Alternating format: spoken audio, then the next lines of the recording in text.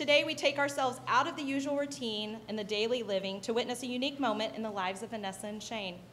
Today, they join their lives together in the union of marriage.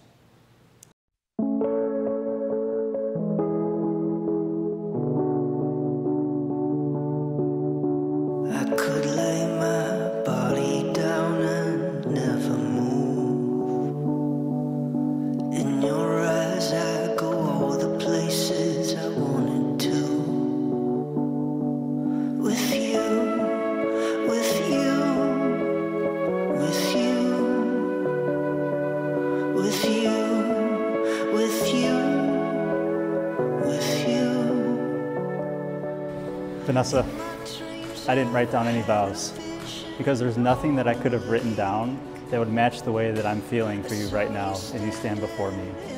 I wanted to speak directly from the heart and directly to you and be as pure as I could possibly be. Six years ago, I was at the University of Oklahoma.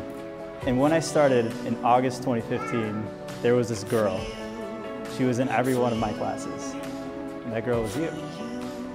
And when I say these out loud, this sequence of events, there's only one thing that can truly explain how this happened, and it's, it's fate. Fate is what brought us here. Fate is what brought each other, us into each other's lives, and is what has brought us here today.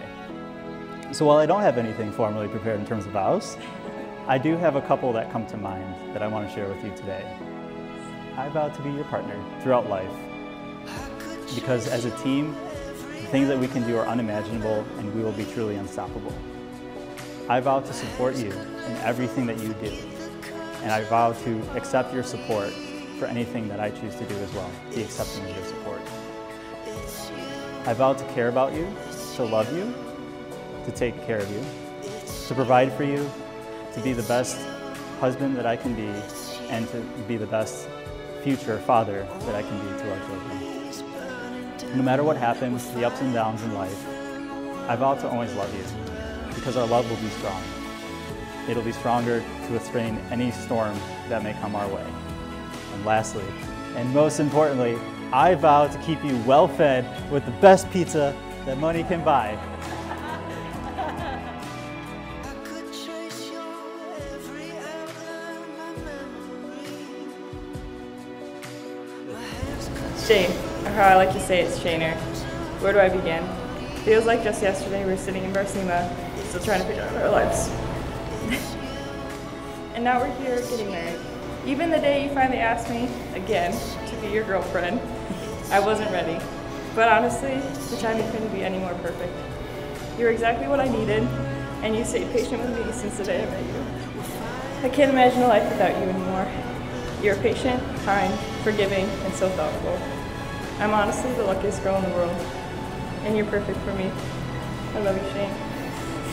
I vow to be your constant no matter what's thrown at us, as life is always full of surprises. As Lorelai said it best, you have so many years and screw ups ahead of you. I can't wait to do every screw up with you. I vow to continue to make you eat way too much pizza and rewatch Gilmore Girls until the end of time. I vow to keep you on your toes until death do us part. And as Jess said best, your favorite character, think how dull your life would be without me. and as Luke famously said, I just want you to know I'm in. I'm all in.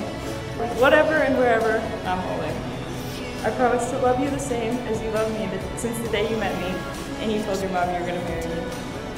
This is one chapter that is closed, but a new adventure that I cannot wait to embark on with you. Thank you for officially being my Luke. Again, I love you, Shane. Now let's do this so we can get our pizza party started.